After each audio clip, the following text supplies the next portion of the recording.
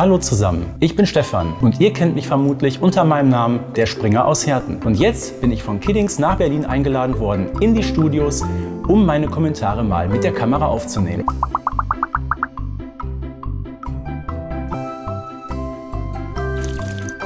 Armer Boris.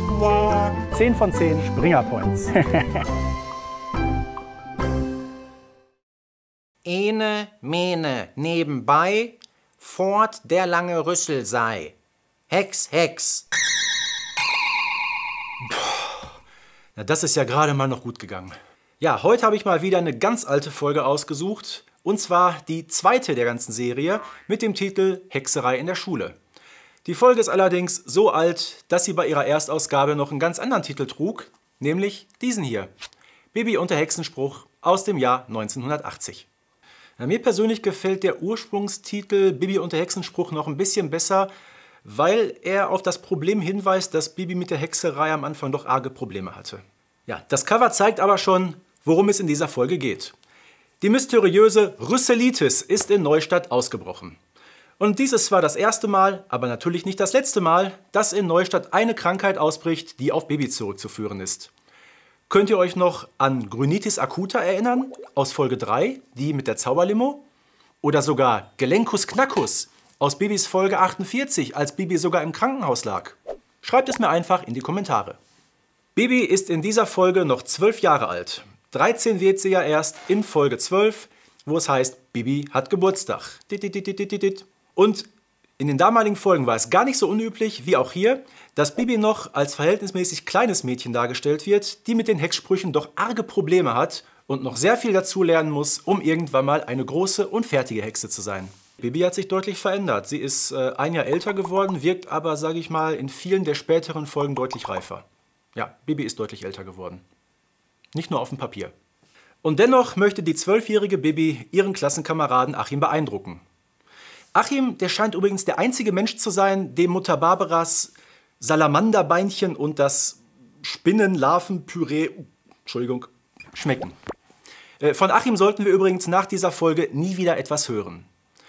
Aber um Achim zu imponieren, hext sie dem Lehrer König und zu allem Überfluss auch noch dem Direktor mit dem wunderschönen Namen Dr. Hugo Pauker einen Elefantenrüssel ins Gesicht.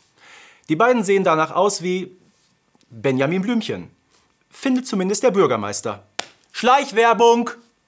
Sie erinnern mich fatal an jemanden, lieber Direktor. Ja? In unserem Zoo gibt's einen Elefanten, den Sie sicher kennen. Benjamin Blümchen? Ja, genau der, an den erinnern Sie mich. Ich muss schon sehr bitten, Herr Bürgermeister. Ja, und hier hören wir Tobias Pagel als Bürgermeister. Und an dieser Stelle muss ich dann einmal mit mir persönlich ins Gericht gehen, denn ich habe ja vor einiger Zeit mal behauptet, dass der Pagel-Bürgermeister in den Bibi-Folgen nicht auftaucht. Kein Pagel bei Bibi. Müsste man so ein Ungleichheitszeichen machen. Pagel, Bibi. Hashtag Springerfail. Und dann steht Bibi plötzlich vor dem gerade erwähnten Problem der allerersten Stunde. Denn der Rückhexspruch will ihr auf Biegen und Brechen nicht einfallen. Und da der Direktor ihr ihre hexische Erklärung natürlich nicht abnimmt, werden er und Herr König in die Quarantänestation des Neustädter Krankenhauses eingeliefert. Davon erfahren die Blocksbergs abends im Radio. Und an dieser Stelle hat Autorin Elfie Donnelly doch tatsächlich noch eine kleine politische Anspielung eingebaut, nämlich die auf den Kalten Krieg zwischen den USA und der Sowjetunion im Jahr 1980. Und jetzt die Weltnachrichten. Der amerikanische Präsident hat die Masern und wird voraussichtlich nicht mit dem sowjetischen Parteichef zusammentreffen, der sowieso keine Zeit hat, weil er ein Muttertagsgedicht auswendig lernen muss. Ich stelle mir gerade so bildlich vor, wie Leonid Brezhnev da dieses Muttertagsgedicht. Ja, weil sich Bibi nicht traut, ihrer Mutter alles zu beichten, muss sie sich eben selbst aus dem ganzen Schlamassel befreien.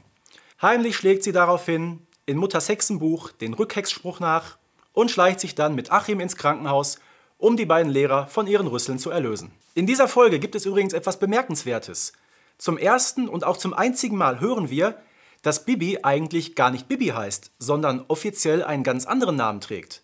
Nein, nicht Bianca, Birgit oder Bärbel und Britta und Beata erst recht nicht. Wie heißt du überhaupt? Brigitte Blocksberg. Aber alle sagen sie Bibi zu mir.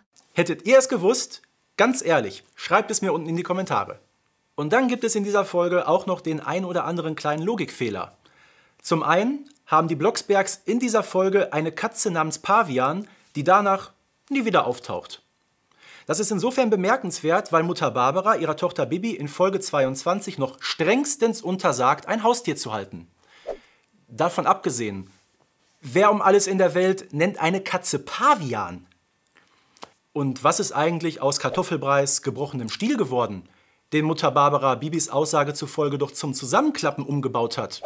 Auch davon hören wir nie wieder etwas. In der Tat hat man in den ganz frühen Folgen doch noch ordentlich herumexperimentiert, weil man sich noch nicht so ganz sicher war, in welche Richtung diese Serie mal gehen würde. Vielleicht lebt ja Pavian mittlerweile mit Boris zusammen bei den Großeltern an der Nordsee. Wer weiß. Insgesamt eine tolle Folge, weil die Charaktere hier noch sehr, ich sag mal, ungehobelt wirken und Bibi mit ihrer Rüsselhexerei so richtig schön ins Fettnäpfchen tritt. Dafür vergebe ich doch glatt 9 von 10 Springer Points.